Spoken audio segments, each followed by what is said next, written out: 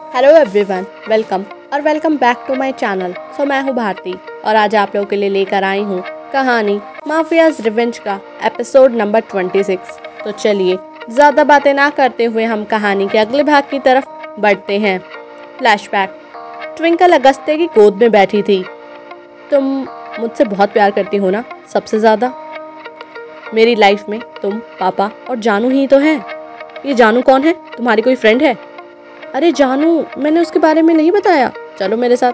तभी होती है जानू और अगस्त्य की पहली मुलाकात, जहाँ ट्विंकल अगस्त्य का हाथ पकड़कर आ रही थी, जिससे जानू भौंकने लगा और वहीं ट्विंकल भाग के जानू के पास गई और जानू उसका चेहरा चाटने लगा, जिससे अगस्त्य की मुठ्ठियाँ भिज गई। उसने जानू को बहुत तेज उठाया और ट्विंकल से दूर कर दिया और अपनी बाहों में भरकर कहा how dare he touch you मेरी ट्विंकल को छुआ है उसने। ये देखकर जानू भौंकने लगा और अगस्त्य को काटने को हुआ। तो अगस्त्य उसे मारने के लिए हाथ उठाने ही वाला था कि ट्विंकल चिल्लाई, अगस्त्य! ये सुनकर अगस्त्य हैरान हो गया, क्योंकि ट्विंकल हमेशा उसे गोलगप्पू ही कहती थी। हाउ डे यू मेरे जानू पर हाथ उठाने वाले? तुम हम्म?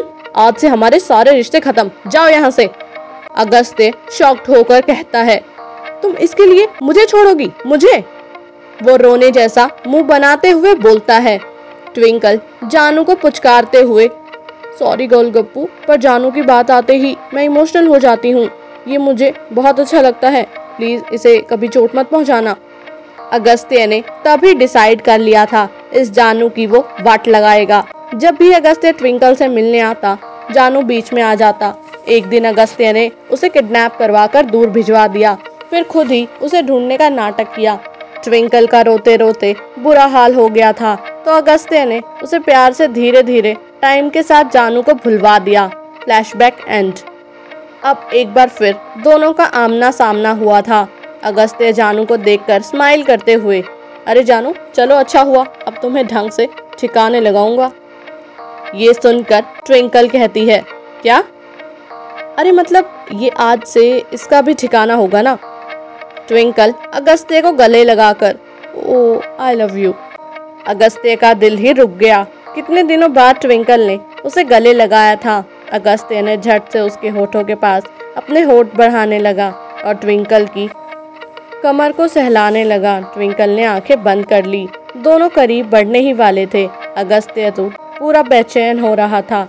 तभी जानू ने ट्विंकल की साड़ी को खींचा। ट्विंकल ने अगस्त्य को हल्का धक्का दिया। और जानू को गोद में उठाकर, अरे, क्या हुआ? भूख लगी है। चलो, खाना खाते हैं। कहकर ट्विंकल उसे लेकर वहाँ से चली गई। अगस्त्य गुस्से में गेट पर हाथ मारने लगा और गुस्से से कहने लगा, मेरी ट्विंकल, उससे दूर रहेगी। वो मेरी है, मेरे साथ खाना खाएगी, मुझे प्यार करेगी। वो सिर्फ़ मेरी है और मेरी ही रहेगी। उसमें क्या है ऐसा, जो मुझमें नहीं है? इस बार तो इस कुत्ते को मैं लंदन भिजवा दूँगा सीधा। ना रहेगा जानू ना दूर जाएगी मेरी जान। वो प्लान बनाने लगा, वहीं दूसरी तरफ़ सना एक हॉट सी ड्रेस पहनकर।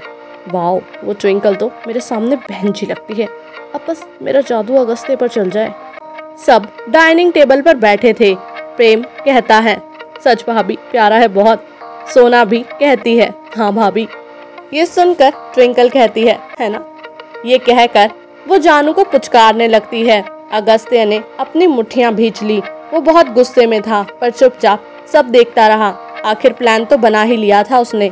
वहीं प्रेम को एक इम्पोर्टेंट कॉल आता है और वो बाहर जाकर अपना फ़ोन उठाते हुए कहता है, यार, इस टाइम फ़ोन मत किया करो। घर पर सब होते हैं। प्लीज़ अंडरस्टैंड क्यों पीछे पड़ी हो मेरे? मैं फ़ोन रख रहा हूँ।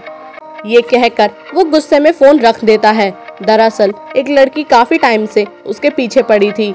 रोज उसे कॉल करती थी। प्रेम उससे परेशान हो गया था, पर उसने भी उस लड़की को अच्छा सबक सिखाने का प्लान बनाया। अब अगस्त्य से और देखा नहीं जा रहा था, पर ट्विंकल तो जैसे अगस्त्य को भूल ही गई थी। वो जब भी ट्विंकल से कुछ कहता, जानू बीच में आ जाता।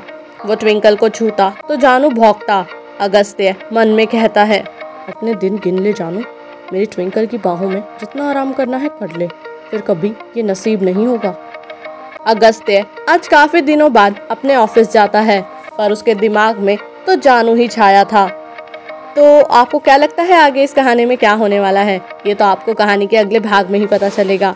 तो जब तक नेक्स्ट एपिसोड आता है, तब तक के लिए बाय एंड टेक केयर